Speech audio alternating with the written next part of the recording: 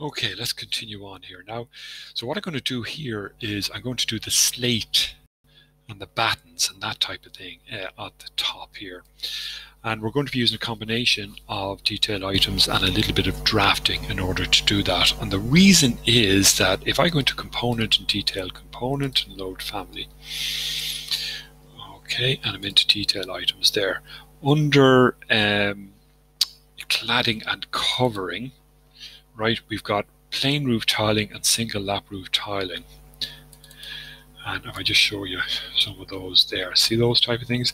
Now, um, if I was doing tiling, great, but I'm not doing tiling. I'm doing um, slate. So the first thing I'm going to do is uh, put in some battens here. And to get the batten in, it's a detail component, load family, and remember where we were. We're in G and G20 and into wood framing. And there's my battens here, and I'm going to say that the uh, batten is 25, say, by uh, 50. All right, now here it is at the end of my cursor. And you know, if you hit the space bar, it'll rotate around. Except I want this to rotate at the 45 degree angle here. So it, to get it to do that, what I'll do is, look, if I bring my cursor over, okay, and sit it on the on the line and actually this is going to be down here if I hit my spacebar now look it'll rotate to that particular angle and I can place that one there. Now I'm actually going to place two um, at this area here because oh right let's see if I can copy that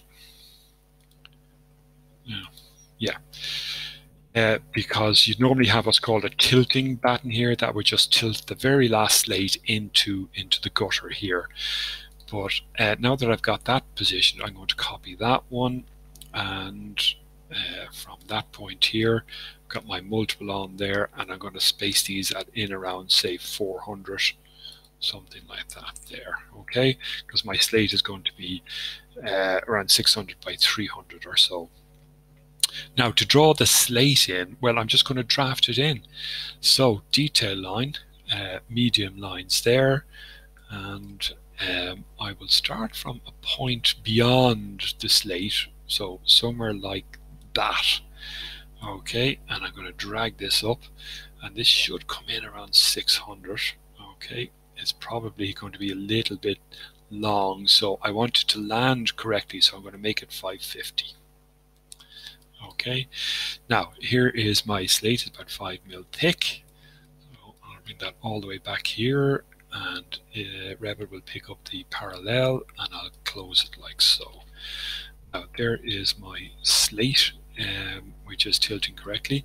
Now I need to do this a second time uh, for this one here because it's at a slightly different angle so you'll draw that in now TL on the keyboards, you can see that that's a little bit thicker there. TL, bring that back. So here's my battens and my slates going in, and in order to complete that, what I'd really need, obviously, is the um, breather membrane that goes in underneath the uh, the slate here. And for the breather membrane, well, I'm going to go into manage because uh, I'm going to create a new line style here. Look, so line styles uh, let's open this up and I'll go, do I have, oh, I've got a one here. Look, I've got this one here already. So that's great. So I'm going to go back into annotate, detail line, medium. Let's scroll up here. We've got uh, breather membrane. And now look, I'm going to pick a, I don't want it on the line. I want it just slightly below it. Okay. Roughly to about there and to about there and to about there. All right, and there's my breather membrane coming in as well. Again, TL on the keyboard can make that a little bit thicker.